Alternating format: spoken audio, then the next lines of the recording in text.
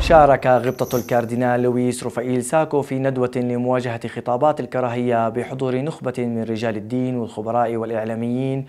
وفي محاضرته قال غبطته يعيش عالمنا أزمات متراكمة وحملة من التضليل الفكري والديني وتراجعا للقيم وللحوار والتفاهم. ومن المؤسف أن الانجرار وراء التطرف والموروثات الخاطئة هو السائد في المنطقة. إذا ثمت حاجة أكثر من ذي قبل لخلق شعور جماعي مشترك بأهمية ثقافة الوسطية والاعتدال والسلام. وناشد الكاردينال ساكو المرجعيات الدينية بالعمل على التوعية الدينية الصحيحة مستلهمة قيم الإنجيل والقرآن والمبادئ الأخلاقية المشتركة مشددا بنفس الوقت على ضرورة تغيير المناهج التعليمية الحالية بمناهج واعية ومنفتحة على الآخر والاعتراف به وقبوله كأخ وكمواطن بحيث تركز هذه المناهج على الأخلاق الحميدة واحترام الناس ومحبة الوطن.